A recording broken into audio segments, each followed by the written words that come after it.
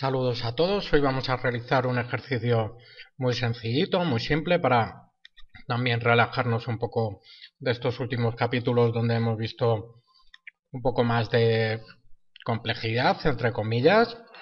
Vamos a despreocuparnos, como digo, y a jugar un poco. Y vamos a hacer especial hincapié en los degradados para generar la ilustración que vamos a hacer hoy. Como veis, una resolución 1000 por 1000, 2000 por 2000, ¿vale? La que creáis vosotros necesaria según el tamaño que queráis. Pulsamos en OK. Y lo que vamos a hacer o a utilizar en primer lugar es la herramienta rectángulo redondeado. Pulsamos con el botón izquierdo del ratón y arrastramos. Vamos a crear un elemento aproximadamente de este tamaño.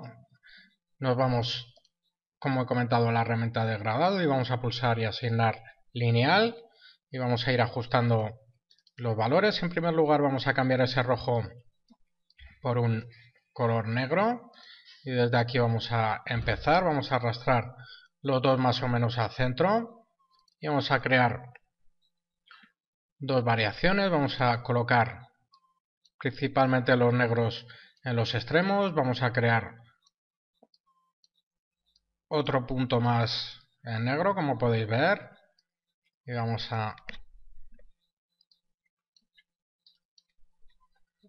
dejarlo aproximadamente así. Vamos a ajustar a los bordes. Como podéis ver el uso de este degradado lineal eh, nos permite generar la apariencia de los bordes redondeados que tienen diversos dispositivos electrónicos actualmente y este extremo, por ejemplo, lo vamos a dejar un poco más clarito. Pulsamos en el negro y le asignamos un pelín más de claridad, tampoco demasiada. Y vamos a seleccionarla y ajustarlo un pelín más. Como veis, si en algún punto pues queréis hacerlo más oscuro, pues podemos seguir jugando con estos valores. Y lo vamos a hacer en blanco y negro ya que el color se lo vamos a asignar posteriormente. Seleccionamos la forma y hacemos una edición copiar, edición pegar delante. A este nuevo elemento vamos a quitarle el degradado y vamos a ponerle, por ejemplo, un color como veis, por ejemplo, rojo. Vamos a quitarle también el trazo. Vamos a desactivarlo también en el elemento del fondo, ¿vale? Que no me había dado cuenta. Lo volvemos a colocar y vamos a cambiar el modo de fusión. En realidad vamos a, como veis, podemos variar los valores de opacidad o también asignar, como hemos visto en otras ocasiones, otros tipos de fusión, siempre seleccionando el elemento que tenemos disponible. Fijaros que en bastantes de ellos se nos quemará, por ejemplo en multiplicar, etcétera, no tendremos problema, vamos a dejarlo en normal, que es lo que deseamos.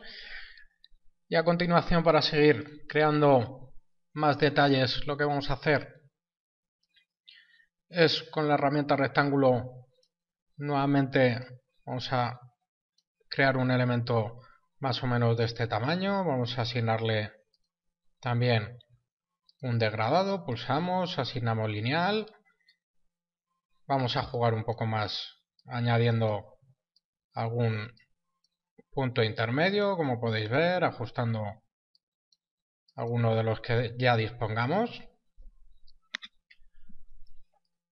Y a continuación vamos a seleccionarlo, vamos a añadir con la herramienta pluma un punto en la parte superior, podríamos también colocar dos y con la herramienta de selección directa pulsamos sobre ese ancla y la elevamos un pelín hacia arriba. Vamos a cambiar a pulsar sobre convertir punto de ancla seleccionados como veis en, en curva. Vamos a arrastrar un poco estos controles y le quitamos un pelín de tamaño, tampoco demasiado.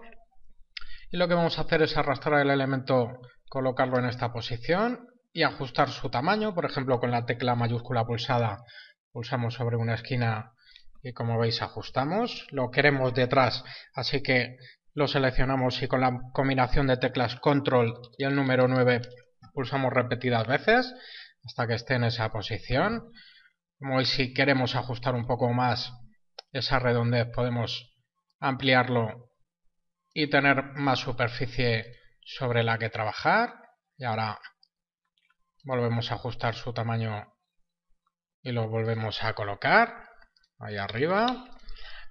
A continuación vamos a generar, por ejemplo, la zona, voy a colocar un poco más al extremo y como decía vamos a crear la zona de la pantalla, para ello vamos a utilizar la herramienta rectángulo redondeado en primer lugar, vamos a usar un color negro que ahora se lo asignaremos, posicionamos, arrastramos y soltamos más o menos con el tamaño adecuado, colocamos como podéis ver ese color negro y vamos a ver si queda más o menos donde queríamos. Si queremos generar algún efecto de volumen, de ligera sensación de tridimensionalidad, lo que podemos hacer es hacer una edición, copiar, edición, pegar delante. Vamos a desplazar con la flecha del teclado hacia abajo, pulsamos unas cuantas veces para separarlo un pelín. Como veis tenemos dos elementos.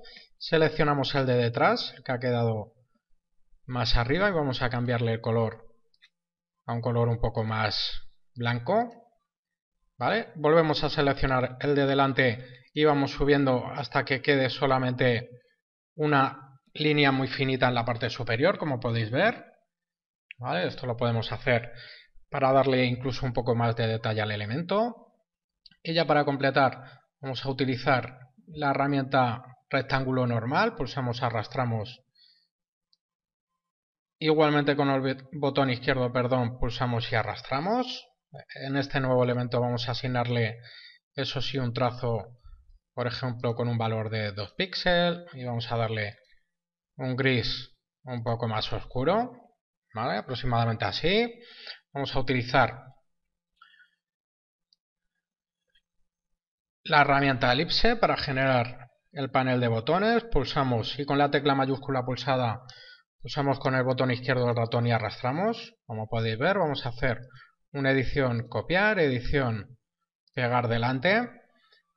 Pulsamos sobre la herramienta de selección y con la tecla, con la combinación de teclas mayúscula y la tecla ALT del lado izquierdo del teclado pulsadas sin soltarlas, pulsamos con el botón izquierdo del ratón una esquina y arrastramos para hacer esa transformación manteniendo esa escala. A continuación seleccionamos los dos elementos con la tecla mayúscula pulsada, uno y el otro. Vamos a desactivarles el trazo y luego nos vamos a ventana busca trazos, vamos a pulsar en menos frente para que genere ese recorte. Vamos a cambiar el color a blanco y arrastramos esa forma al centro de nuestro dispositivo. Vamos de todas maneras a ajustar un poco más la transparencia de este elemento, que le quiero, como podéis ver, un pelín más oscuro. Y ya una vez colocado, vamos a ver. Bueno, como decía, ya una vez colocada de esta forma, podríamos haber hecho lo mismo que hemos hecho en la zona de la pantalla. Podemos hacer una edición copiar. Cambiamos, por ejemplo, el color a un gris un pelín más oscuro y hacemos una edición pegar delante, pulsamos una o dos veces la flecha del teclado hacia abajo o al contrario, según hacia donde queramos, como veis, el efecto. Contra más pulsaciones coloquemos, más se notará. La verdad es que debe de ser bastante sutil. En este caso lo conveniente es dejarlo en la parte principalmente en la parte superior, que es donde estaría aproximadamente la sombra.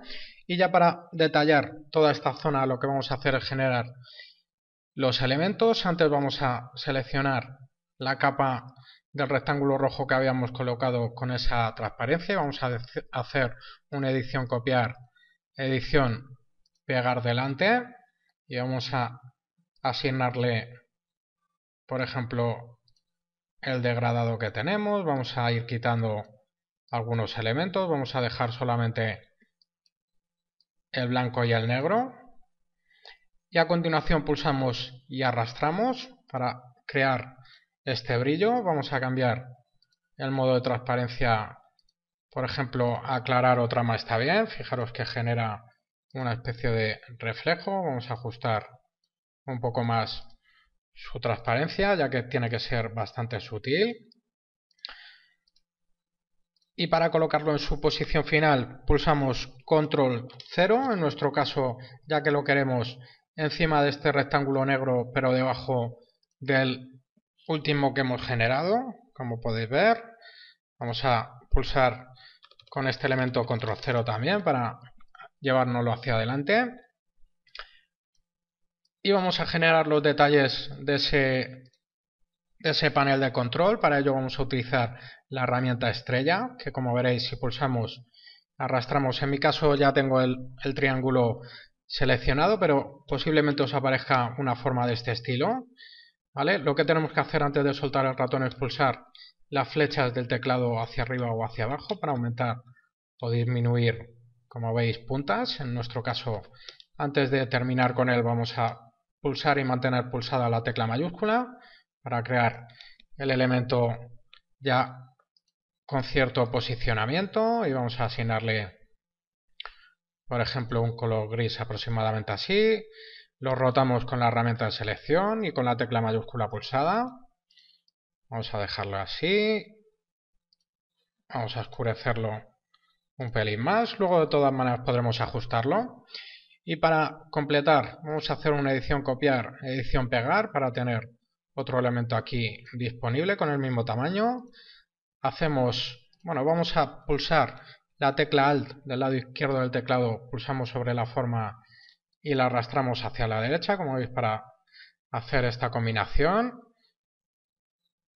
Y luego con la herramienta rectángulo normal vamos a hacer aquí al final un rectángulo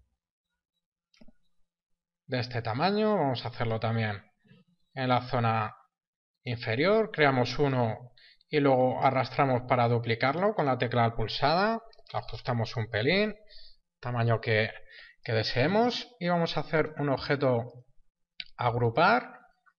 Y en el otro elemento también, ¿vale? Para ahora colocarlos. Con los dos seleccionados vamos a ajustar su tamaño a la vez, para así tenerlos más o menos del mismo tamaño, ajustamos un pelín más, recordar perdón, con la tecla mayúscula pulsada, al mismo tiempo que arrastramos de una esquina, y vamos a dejarlo por ejemplo a este tamaño. Este elemento obviamente es bastante sencillo, como hemos visto antes, vamos a ampliar un poco nuestra mesa de trabajo, vamos a hacer una edición copiar, vamos a cambiar el color por ejemplo, un pelín más oscuro y hacemos una edición pegar delante, desplazamos, por ejemplo, dos veces hacia abajo o dos veces hacia arriba, según el efecto que deseéis, y vamos a, vamos a arrastrarlo para poder agriparlo aquí. Lo podíamos haber hecho, como podéis ver, desde fuera, y ya con esa combinación hecha hacemos un objeto agrupar, lo llevamos a su posición final, hacemos un objeto primero edición copiar, edición pegar, objeto transformar reflejo en este caso en vertical. Para verlo bien podéis dejar el previsualizar, lo colocamos también en su posición final. Y con este grupo vamos a hacer lo mismo, edición copiar, ajustamos su color, edición pegar delante y pulsamos un par de veces hacia arriba, lo colocamos aquí debajo y ya solamente nos quedaría poner por ejemplo un elemento de texto en la parte superior, vamos a utilizar letras mayúsculas, como veis la Myriad Pro, podemos cambiar a Bol, vamos a también ajustar su tamaño y por último su posición y su color. En este elemento también podríamos colocar ese efecto de sombreado que vemos en, el resto. Voy a hacerlo con edición copiar, cambio el color, edición, pegar delante, y en este caso voy a hacerlo un pelín más sutil.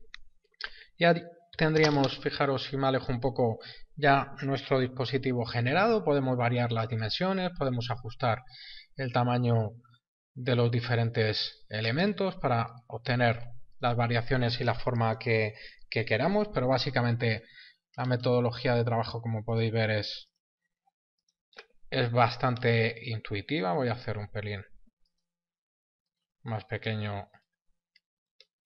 Como veis estos elementos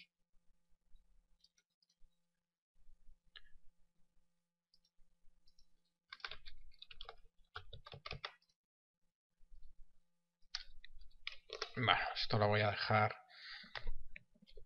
lo vamos a dejar así lo suyo sería apartar el resto de elementos para seleccionar estos más cómodamente pero bueno, como veis bastante sencillito. Ya por último podríamos utilizar la herramienta elipse. Vamos a pulsar y crear una elipse con este aspecto. Volvemos a pulsar nuevamente y generamos una más o menos aproximadamente así. Vamos a darle un color gris un poco más oscuro. La desplazamos hacia, hacia atrás con la combinación de teclas control y 9. Vamos a utilizar la herramienta de selección directa para pulsar en el ancla superior y como veis arrastramos un poco hacia abajo y vamos a editar estos elementos para obtener una forma más adecuada a lo que buscamos. Como veis podemos cómodamente deformarlos. Queremos obtener algo aproximadamente como esto. Voy a ajustar un poco esta forma. Voy a colocarle un color un pelín más oscuro. Podríamos generar un punteado para que quedara incluso más curioso si queremos. Voy a arrastrar un pelín.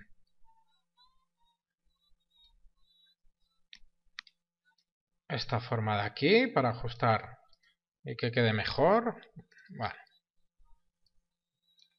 Vamos a dejarlo más o menos así para tampoco extendernos mucho. Ahí tendríamos nuestro elemento que vamos a colocar aquí debajo. Ajustamos su tamaño. Que guarde un poco de relación. Como digo, podríamos detallarlo un poco más o incluso si queréis asignarle un degradado de tipo radial, ajustándolo con la herramienta de degradado para obtener un efecto un poco más curioso. Voy a girar